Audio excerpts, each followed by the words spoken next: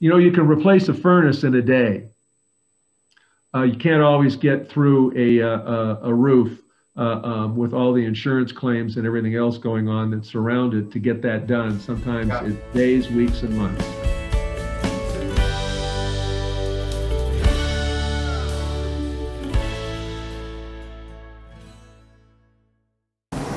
Hi everybody, this is Tracy Bookman, owner of Homestead Roofing, and in our last Ask an Expert video, we were talking to Karsten Musaeus with Keller Williams Real Estate, and we were talking about roofing and real estate transactions. So I'd encourage you to go check out that last video. Lots of information about whether or not home inspectors know what they're doing when they get up on a roof. In our video this time though, we're gonna ask Karsten the question, if the roof needs to be replaced as part of the sale, can that occur after closing? We found out I have to re-roof my house. Yep. But we close in 10 days. of course. Can, can can the roof replacement can that happen after closing? Uh I'm going to talk out of both sides of my mouth. You ready? Yeah, because I think there's yes and no answers to that. Yes. All right. Um, can it be done? Uh, theoretically, yes. And why do I say it that way? Um, there's a whole lot involved here. I'm going to now put on, uh, I used to own mortgage companies, so I'm going to put on a mortgage lender's hat for a second for you, Tracy, and I'm going to be that guy. If I find out that I'm ready to make the loan, everybody's good, everybody's happy supposedly, but then it comes to my attention that there's a roof issue that has not been taken care of, and um, that it's uh, uh, not going to be done prior to closing, walk in uh, the lender's moccasins for a second here. If I lend on that home and that roof has not been completed, technically speaking, I have an unsaleable loan on my hands as a lender. I cannot offload that, reload my guns with more money and make more loans. I've got to hold on to that till I'm absolutely sure that that roof's taken care of or I inherit major liability as, uh, you know, so to speak, the retail lender to the public on this, because the guys I generally sell my product off to as a lender uh, want to know that uh, we don't have a roof issue, uh, among other things. Let's say, uh, and this will take a little time, but I'm going to give you some scenarios.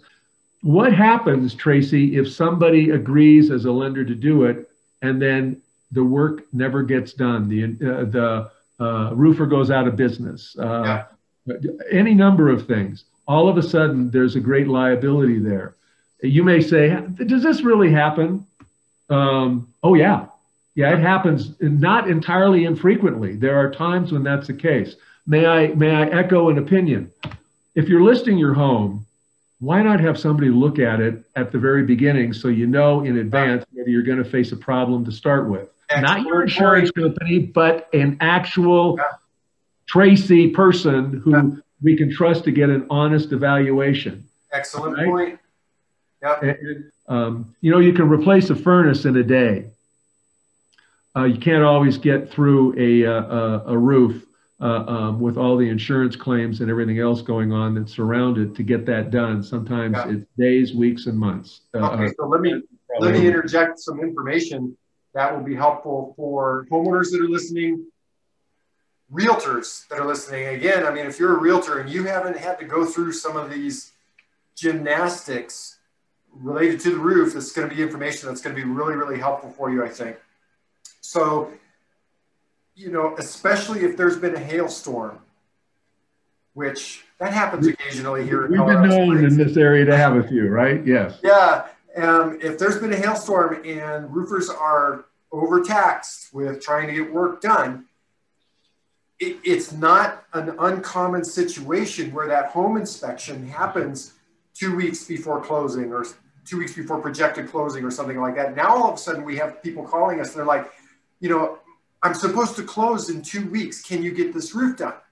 Well, no, actually, we can't. We've got 15 other roofs ahead of you, or whatever, right? And a number of them are buy buy sell situations, not just right. refinances we're waiting on. So everybody right. else wants theirs done too.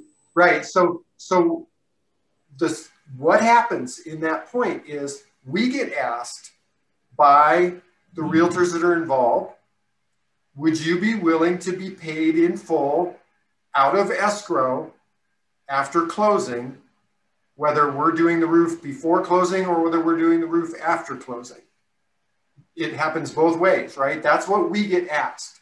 Well, of course, if we're working with a realtor who we know and trust, we're far more likely to do, to do that. Okay. So, yeah. like if we're working with Karsten and we get asked that question, yeah, of course, we'll, we'll get paid in full after closing. But what you said uh, just a little bit ago, like, is lighting all kinds of lights for me, right? It's like, oh, I never thought of that. Like what you said, okay, so if the roofer agrees, sure, we'll get paid after closing. We'll get paid out of escrow after closing, but we can't do the roof until after closing. And all the other players agree to that. Boom, what happens if the roofer just disappears? Then, then what? What happens?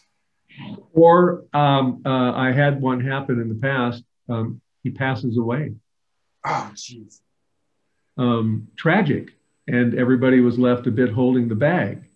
Um, I'll, I'll, tell you what happens in situations, not, not that particular one, but let's just say a lender is gracious enough to say, okay, as long as we're comfortable enough and everybody's got it in place and we've confirmed with the insurance company that they're a go, we've confirmed with the buyers and sellers that they're in agreement on this post closing action. We've talked, the agents are all in agreement. The roofer, probably the key linchpin, is going, yep, I got your back. I, you can count on me to do that frequently what uh, uh, will happen is, um, and, and even title companies are reluctant to do this anymore uh, because they, in, in Colorado, they're the ones that uh, uh, help close the transaction between buyers and sellers and all the paperwork. And we're asking them in some cases to retain from the seller 150% of the bid to replace the roof. So it's sitting there um, in the event what happens if the roofer has a bid and then he, un- he undoes everything and says, oh my gosh, the decking underneath is completely rotten? Yeah.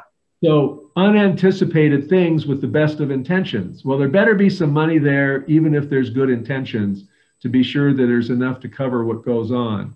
We're in an extremely seller, I mean, hot seller market. All right. So things get bought the minute they go up for sale almost. Okay. That's not a complete accurate truth, but it's it's a 90% truth. I mean, multiple offers, blah, blah, blah.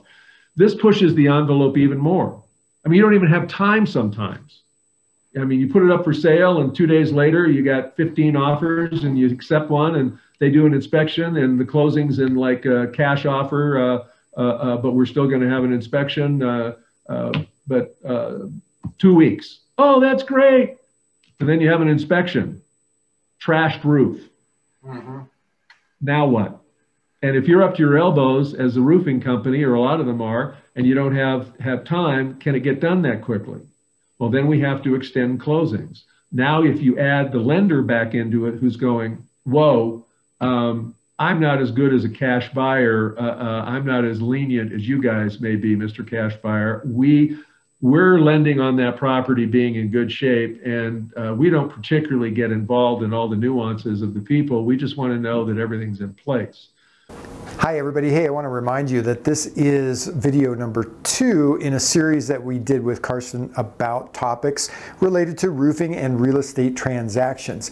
If you've got questions about this particular topic, uh, feel free to give us a call at our office. Our phone number is right up here, 719 433 6991. You can also visit our website. That's right down here, homesteadroofingcolorado.com.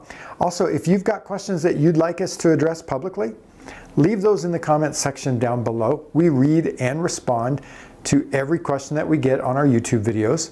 Also, if you like this video, if it's been helpful for you, we'd love it if you would give us a big thumbs up and subscribe to our channel. Click the bell icon up there so that way you get notified when we've got new videos. And like I say, check back in with us. We're going to keep publishing more videos addressing roofing and real estate transactions with our expert, Karsten Musaeus with Keller Williams. Until our next video, I'm Tracy Bookman, owner of Homestead Roofing.